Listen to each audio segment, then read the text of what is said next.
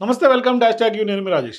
MLC కవిత ఇవాళ ఏకంగా కాంగ్రెస్ అధినేత్రి సోనియా గాంధీకి లేఖ రాశారు. పెద్ద ఎత్తున ఇవాళ సంచలనంగా మారుతుంది.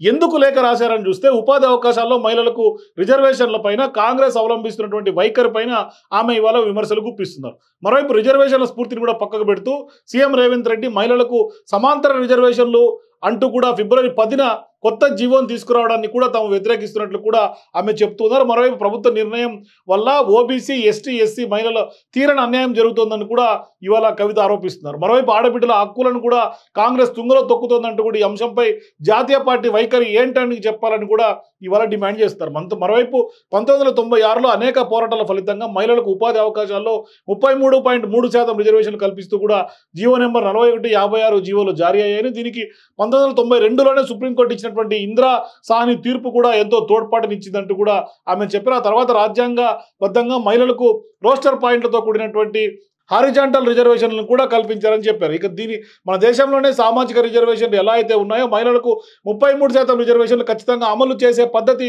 నడుస్తోందని ఐదేళ్ళ నుంచి సాగుతున్నటువంటి ఈ పద్ధతిని ఇటీవల రాజస్థాన్ పబ్లిక్ సర్వీస్ కమిషన్ కేసులో కూడా సుప్రీంకోర్టు ఇచ్చినటువంటి తీర్పును పరిగణలోకి తీసుకొని తెలంగాణలో కూడా ఏర్పడినటువంటి కాంగ్రెస్ పార్టీ ప్రభుత్వం మహిళల హక్కులను కాలరాస్తూ GO number forty one fifty six రద్దు చేస్తూ ఇదే పదిన కొత్తగా జీవో మూడును తీసుకొచ్చిందని రాజస్థాన్ పబ్లిక్ సర్వీస్ కమిషన్ కేసులో కూడా సుప్రీంకోర్టు తీర్పును అమలు చేయాలని కూడా ఇవాళ తెలంగాణ హైకోర్టు ఆదేశాలను కూడా జారీ చేసినా తాము మహిళల హక్కులను హరించబోమని రెండు వేల ఇరవై మూడు జనవరిలో కేసీఆర్ ప్రభుత్వం తెలంగాణ హైకోర్టులో కౌంటర్ దాఖలు కూడా చేసినటువంటి వ్యవహారాన్ని కూడా ఆమె ఈ సందర్భంగా గుర్తు చేశారు. సో ఇక పెద్ద ఎత్తున ఇవాళ ఆ జాబితా పైన కొంత ఇవాళ కవిత టార్గెట్ చేస్తుంది ఆ జీవోలపైన టార్గెట్ చేస్తుంది. మరోవైపు కాంగ్రెస్ ప్రభుత్వం వచ్చినటువంటి వెంటనే ఎవరితోనైనా సంప్రదింపులు జరపకుండా కనీసం మహిళల హక్కులు భంగం కలిగిస్తూ ఇలా ఆరున రాష్ట్ర ప్రభుత్వం హైకోర్టులో పిటిషన్ కూడా ఉపసంహరించుకుంది.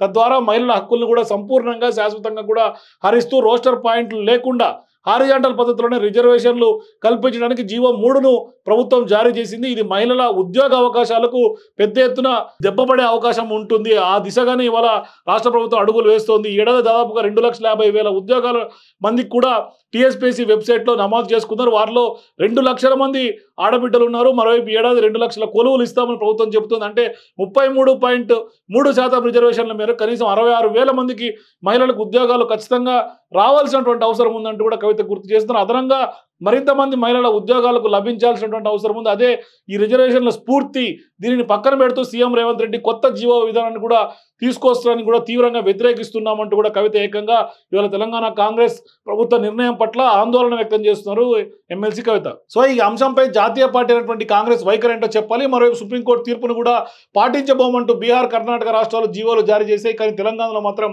పెద్ద ఎత్తున మీ గ్యారంటీల్లో ఇంద్రమ్మ రాజ్యంగా చెప్తున్నటువంటి ఏర్పడినటువంటి కొత్త ప్రభుత్వంలో ఇంటి ఆడబిడ్డలకు తీరని అన్యాయం జరుగుతుందంటూ కూడా ఆమె దుయ్యబడుతున్నారు ఈ విషయంలో జోక్యం చేసుకుని ఈ జీవోను తక్షణమే వెనక్కి తీసుకునేలా కూడా ముఖ్యమంత్రికి ఆదేశాలు జారీ చేయాలనేది ఇవాళ కవిత సోనియా గాంధీకి రిక్వెస్ట్ చేస్తున్నారు. మరి ఇది దీంట్లో సోనియా గాంధీ ఎట్లా రియాక్ట్ అవుతారు ఏంటి అని కూడా చూడాలి. మొత్తం మీద ఇక్కడ ప్రభుత్వాన్ని కాదని అంటే రేవంత్ రెడ్డిని డిమాండ్ చేయడం మానేసి డైరెక్ట్గా సోనియా గాంధీకి కవిత లెటర్ రాయటాన్ని ఎట్లా చూడాలి అనే అంశాలపైన ప్రస్తుతం కొంత చర్చనీయాంశంగా తెలంగాణ రాజకీయాల్లో మారుతుంది. మొత్తం మీద కవిత లెటర్ పైన గతంలో టీఎస్పీఎస్సీ పైన ఎంత చిత్తశుద్ధిగా బీఆర్ఎస్ పనిచేసింది ఇప్పుడు ఇప్పుడున్నటువంటి రాష్ట్ర ప్రభుత్వాలు చిత్తశుద్ధిని ఇవాళ కవిత క్వశ్చన్ చేస్తున్నటువంటి సందర్భంగా ఆమె చిత్తశుద్ధి పైన లేదంటే కనుక ఇప్పుడు నిజంగానే ఇది న్యాయమైనటువంటి డిమాండా మీ అభిప్రాయాల కింద కామెంట్స్ రూపంలో తెలియజేయండి. For more please watch hashtag you